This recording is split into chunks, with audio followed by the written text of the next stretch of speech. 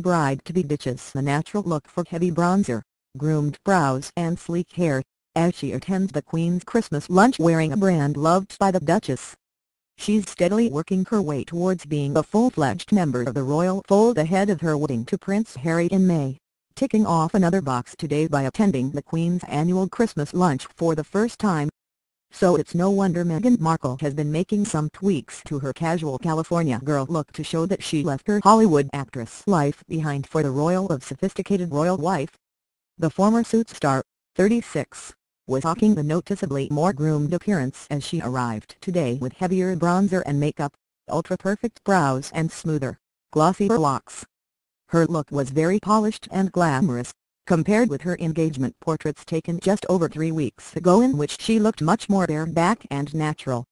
Wearing a pure lace and crepe dress by self-portrait, Meghan looked as if she'd been taking style and grooming notes straight out of the Duchess of Cambridge's handbook.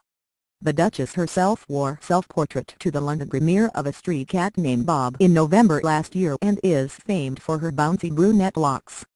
Of course, nobody would expect Meghan to go for lunch with the Queen wearing the casual ripped jeans and untucked shirt she wore for her first official public appearance at the Invictus Games with Harry in Toronto. However the pure lace top and white A-line skirt of the dress is a more fussy than the classic, pared back look Meghan normally goes for signaling something of a style shift. Nikki McEwen, a makeup artist and TV beauty expert told Femail that Meghan has clearly had her eyebrows shaped since her engagement portraits three weeks ago. They look to me as though she has had threading with a brow tint and they have been groomed and kept in place by a brow gel, she said. I am sure she will be aware that any straight brow hairs detract from her eye makeup and she has definitely improved the look of her brow since the engagement. However, Stacy Whittaker, an award-winning makeup artist and owner of Pals and Pin UPS Salon says the former Suits star has gone a little too far.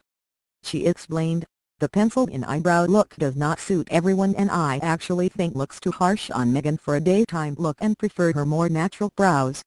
She added, her eyes are slightly darker too and look like they have a little more liner on them than usual. Independent hair and makeup artist Maddie Pierce, who is also a lecturer in media makeup and SFX has worked with clients such as Eva Mendes and the Pussycat Dolls and says that Meghan agrees that Meghan has upped her beauty game for the occasion. According to Maddie, Meghan has kept her trademark natural shape for her brows. However, she has applied a highlighter under the brow on the brow bone itself which really defines the shape, she said. The royal bride-to-be has previously said she prefers the natural look and doesn't wear foundation outside of work but that certainly wasn't the case today. Meghan looks like she has used creamy product to create a dewy glow over the skin, opting for a slightly heavier makeup than usual carefully bronzing and sculpting the face, she said. No doubt she stuck to her tried and perfected Bobbi Brown foundation as a base,